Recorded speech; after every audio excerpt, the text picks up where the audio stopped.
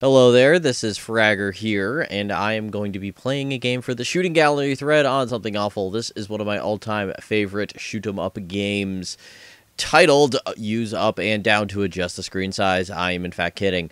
This game is titled Velocity Ultra. It was developed by FuturLab and published by Curve. It is available for the PC, the PS3, and for the Vita.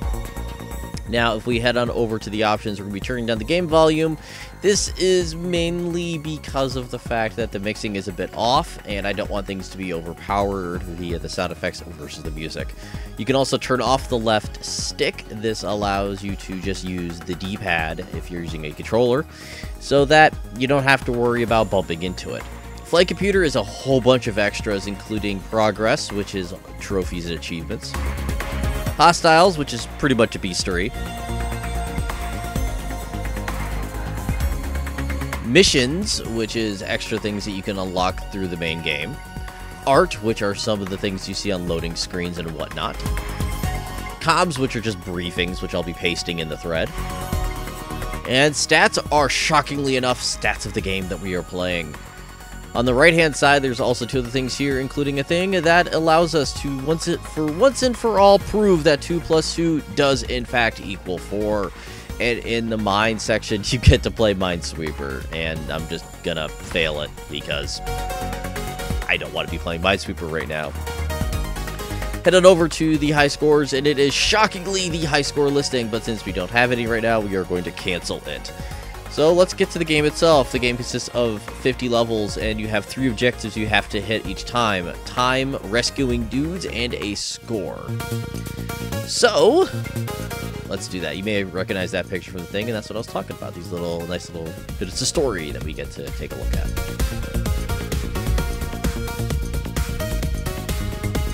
So here we go. Here is the first level of Velocity. It is, as you can tell here, a top-down to shoot 'em up with some interesting mechanics that we will be getting into across the levels because this game does a really good job of teaching you things. Now, this is the directional pad, and here's the analog. Very different movement-wise.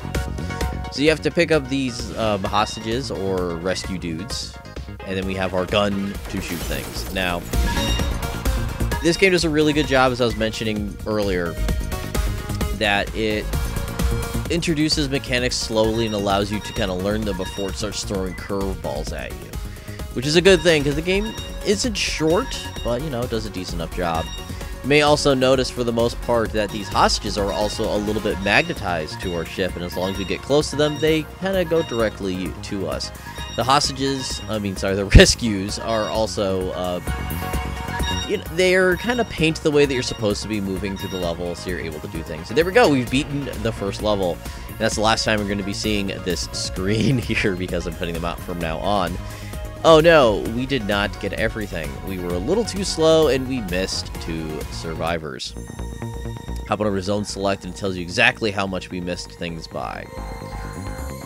Okay then, so what we should do is fix the fact that we didn't do that. So we're going to jump right on in, and this is what a winning run is going to look like.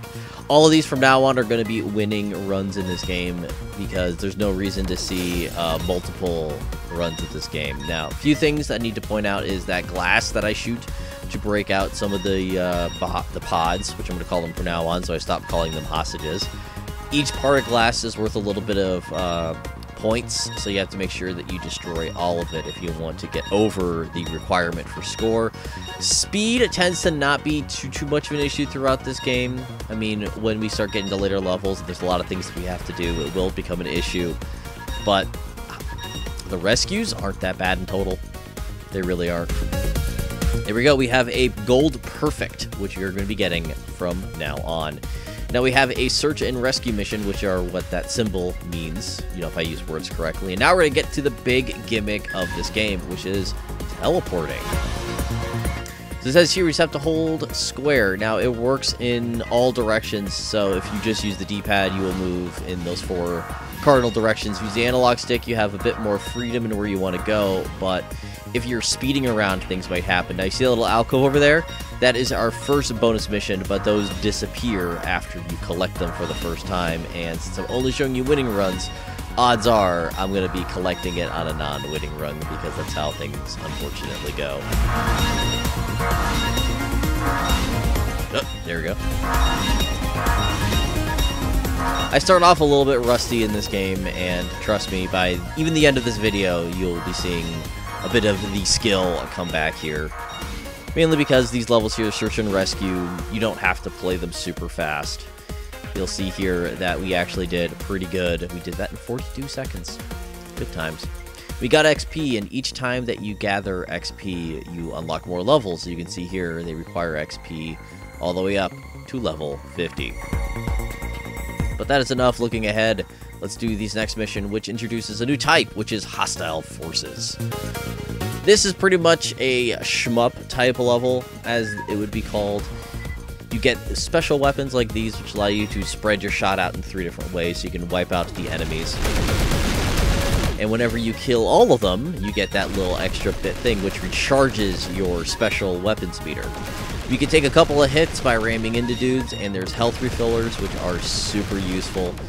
But one thing to point out is that even if you do not have a special weapon, you want to pick up that pickup that you're seeing there for one very specific reason. And that reason is it's actually worth points, so you should always grab it.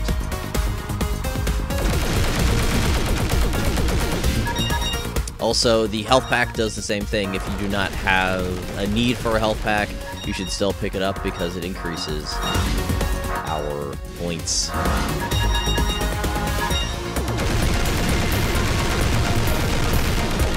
Oh, that was two different waves of dudes there.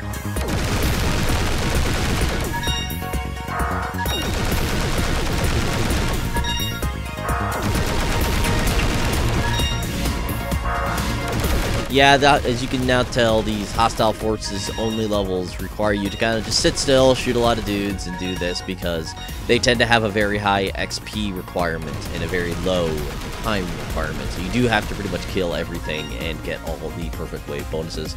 Speaking of perfect, there is our golden perfect. Now for my favorite levels of this game. These are the critical urgencies.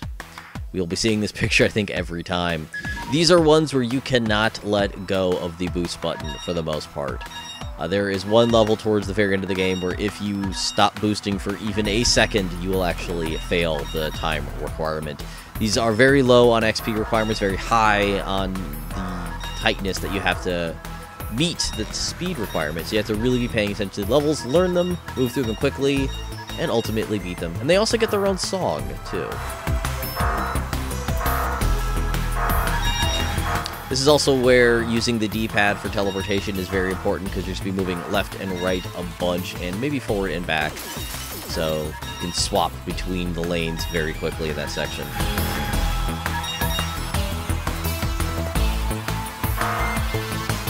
Also, don't get scrolled because if you do get pushed all the way to the bottom of the screen, you will die.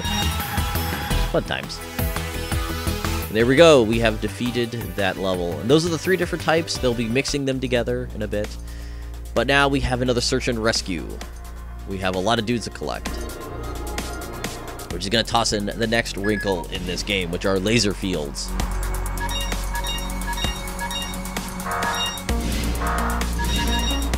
Which are here.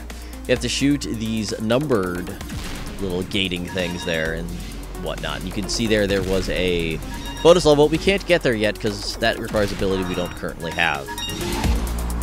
So yeah, those fields, if you touch them, they instantly kill you. So don't run into them.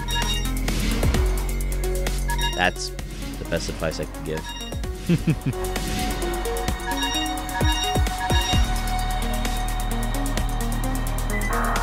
Yeah, long jumps, it'll let you know that in case you're doing a level where you have to be very speedy through it. These opening levels, you don't really need to be too concerned about doing stuff like that, so it's no big deal.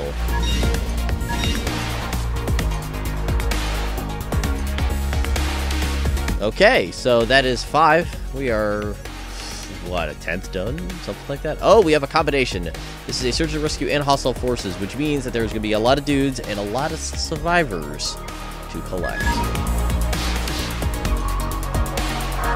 So yeah, we're still teleporting around, grabbing pods, doing that stuff.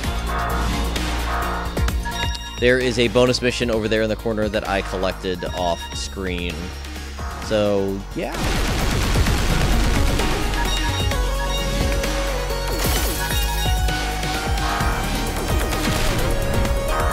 Yeah, you can do those nice little long teleportations there, so you don't have to worry about, you know, fucking up, I guess.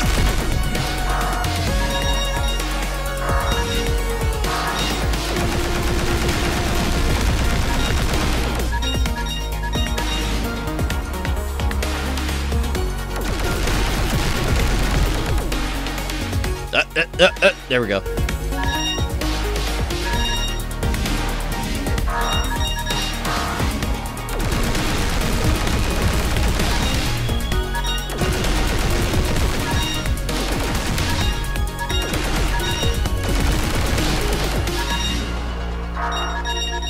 Something you do have to be careful of when you are killing enemies is, well, well, one, you want to teleport in the middle of them because you can kill them from the inside out.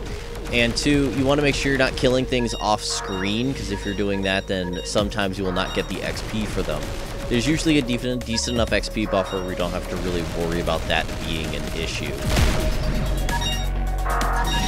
Oh, oh, there we go. And there we go. That is it for level 6. Let's hop on over to zone or level. I'll be bouncing between, I guess, those two words most of the time. We have new enemies to fight. These are going to be a mainstay throughout the game. These are turrets. They are very annoying to fight because they take a fair amount of damage, stand there, shoot bullets, and you have to kill them so you can get enough XP. So, hooray. They come in different sizes, you may notice, and colors.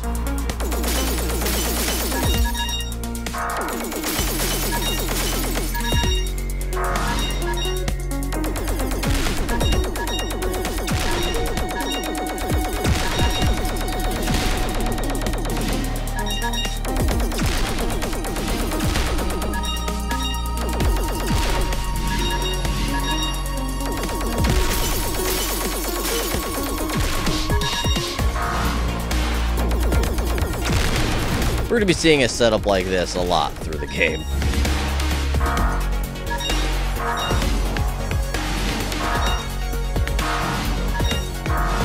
Those diagonal uh, teleportations are a good reason to keep your uh, analog stick active, because they're much easier to do than, you know, trying to do it on the D-pad, as you can imagine. So yeah, this is one where we could, uh, we had to hit the green to unlock the yellow, to unlock the yellow field.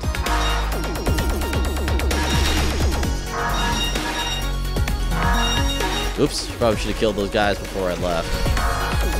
Take care of that. But luckily, you can take quite a few hits in this game before you uh, die. Usually, if you run straight into a turret, it will automatically kill you, but you take quite a few hits from them.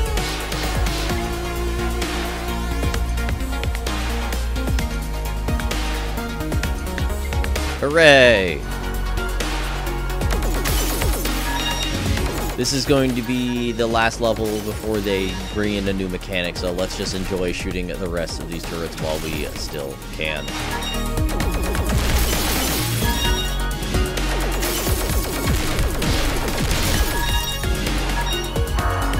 Oops. Being a little too quick there. Ah!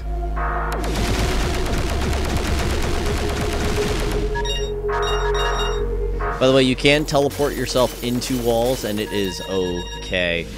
And the XP requirement is fairly high on this one, but there is a lot of enemies to deal with, so I did not have to destroy all of that glass. Well, it's a good thing we got this pickup, because we just ran out of our special weapon. Oh, better back up a bit. Uh, I can't remember if I mentioned this, man, my memory's bad, but you definitely can run straight into those enemies and take a few hits, which is nice and dandy. And here we have some new glass, which takes a lot of hits to destroy. Isn't that lovely?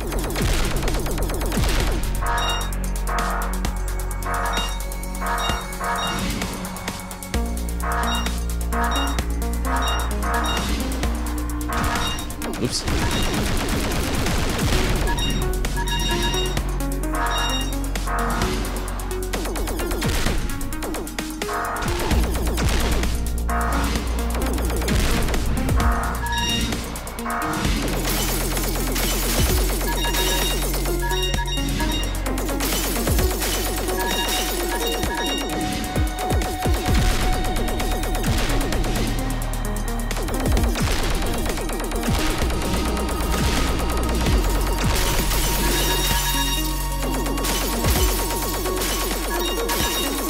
There we go, and that is it for this level.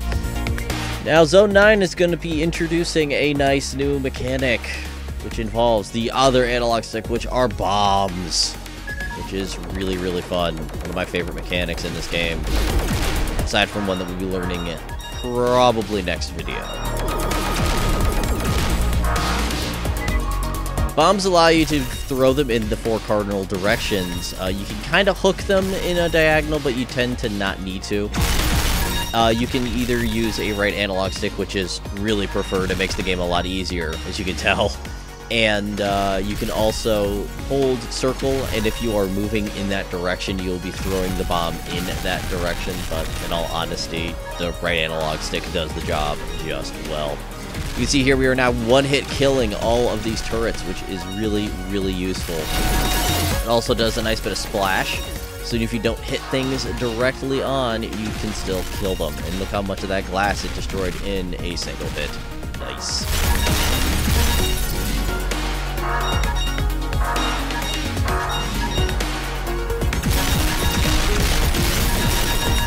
Usually if you're flying through glass, hucking bombs is usually not the way to go. You want to shoot.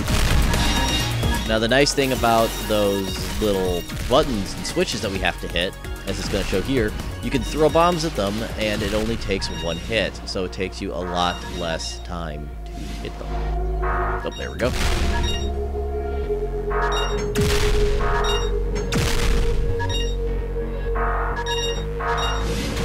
Ah, Almost ran into that guy.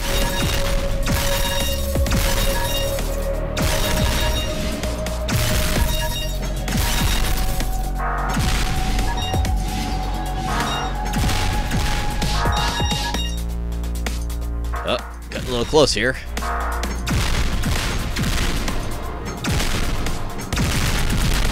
And you can just spam them, which is super useful. Okay, that's it for those, and we get to end on a critical urgency. This critical urgency is one that I actually practiced a bit, so you can kind of see when everything kind of comes together in this game, it's pretty damn fast. And it's one of the best parts of this game. As I mentioned, those you don't, you don't have to hit them dead on, but you, you have a little bit of leeway.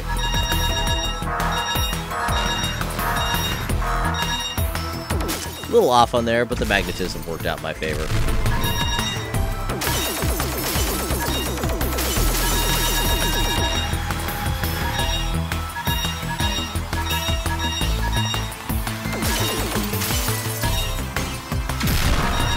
And yes, you can also queue up your teleport, so you don't have to wait till the very last second to do it. And that's going to do it for this first video. We will be back, and by we, I mean me and probably more people, because I can't keep talking about this thing by myself. See ya.